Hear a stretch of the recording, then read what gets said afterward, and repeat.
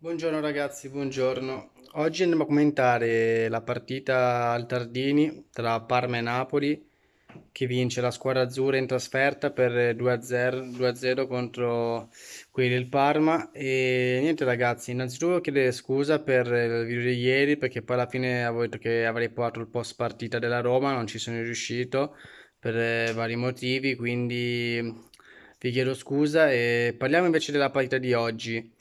Eh, una partita un po' strana, molto tattica, brutta se si può anche dire, perché nei primi 60 minuti ehm, non si è visto tanto, una partita abbastanza spenta. Poi è entrato Osimhen eh, perché il Napoli dopo il sessantesimo attrazione offensiva proprio a go-go perché voleva assolutamente trovare il gol del vantaggio e questa scelta si è risultata molto molto giusta e positiva perché poi il Napoli subito dopo trova il gol con Mertens, eh, secondo gol invece arriva eh, per un errore assurdo di Jacoponi che regala la palla a Lozano, che Lozano tira la, in porta, le portiere la para, ma nella respinta c'è Insigne lì che col tapin vincente la mette in rete.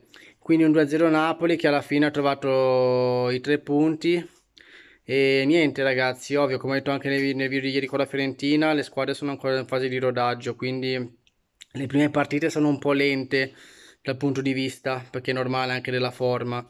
Però è, è ovvio che il Napoli comunque tramite questi cambi ti, ti fa capire, vi fa capire che comunque ha una squadra anche buona in panchina, eh, ha dei cambi molto molto validi.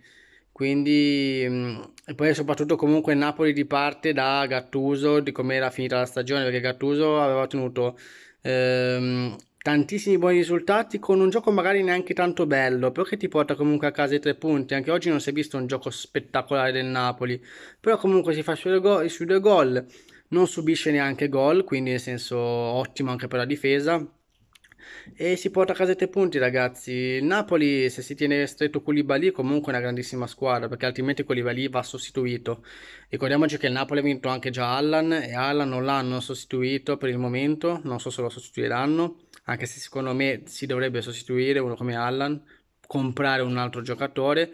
Anche se poi alla fine il centrocampo del Napoli di oggi Dem, Fabian Ruiz, Zenischi non è comunque un brutto centrocampo ragazzi assolutamente. Poi il Napoli è una squadra con una transizione d'attacco molto molto ampia, c'è tantissimi giocatori eh, davanti che fanno sempre loro, sono veloci, attaccano.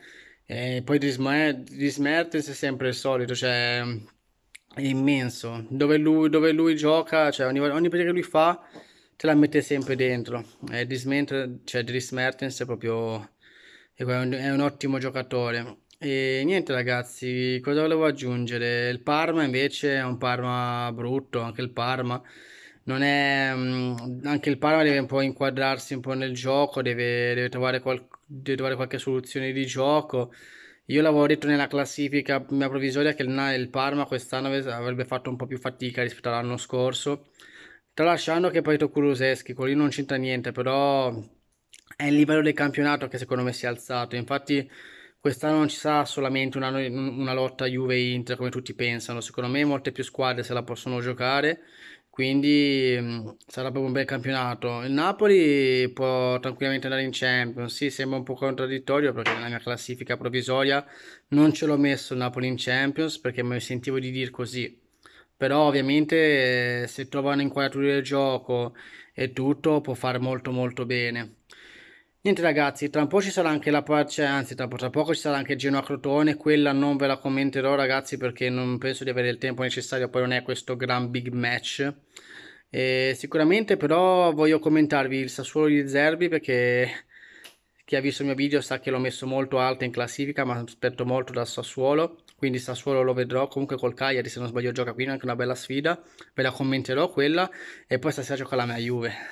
La mia Juve quella sicuramente eh, beh, non può mancare sul mio canale e quindi vi commenterò anche quella. Quindi ci vedremo verso le 18 con un altro video per adesso direi che è tutto. Quindi Napoli batte il Parma in casa del Parma 2-0 primi tre punti della squadra azzurra 0 ancora punti per il Parma che dovrà un po' rivedersi. Niente ragazzi comunque se il video vi è piaciuto mi raccomando lasciate un bel like commentate se vi va così almeno voi napoletani soprattutto potete dirmi cosa ne pensate voi di questo Napoli, cosa vi convince di questo Napoli di Gattuso. E soprattutto ragazzi se il video vi è piaciuto e vi fa piacere iscrivetevi anche al mio canale. Qui da ancora è tutto, bella!